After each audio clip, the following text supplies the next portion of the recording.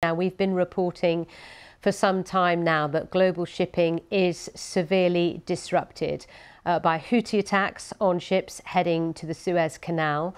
But across the Atlantic, the other canal vital to international trade, the Panama Canal, is also suffering from major disruption as many fewer ships are now getting through. The culprit this time, though, is climate change, as Michelle Fleury reports. Is this the world's most expensive traffic jam? Ships lined up for days outside the Panama Canal last August. Roughly $270 billion worth of cargo flows through here each year. But this vital link between two oceans is running out of water. Which is a huge problem for shipping companies and could spell trouble for global trade. The number of vessels that can pass through here each day has been slashed from 36 to 24. Jose Cervantes from shipping company Agunsa told me this shortcut between the Pacific and Atlantic Oceans is the natural route, warning if it's blocked, alternatives are needed, meaning more time and extra costs.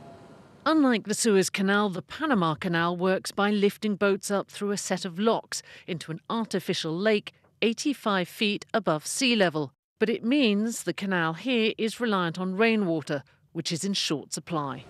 2023 has been the second driest year in the history of the Panama Canal.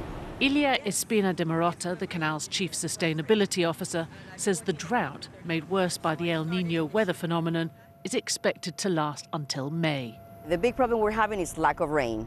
In the rainy season, which goes from May until December, we're supposed to get tons of rain and fill the lakes.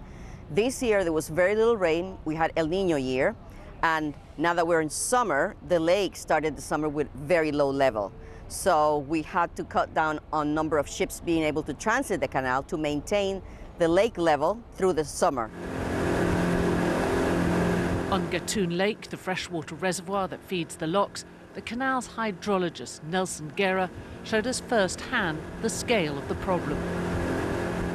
The level is, uh, as you see in the rule, is 81.20 feet.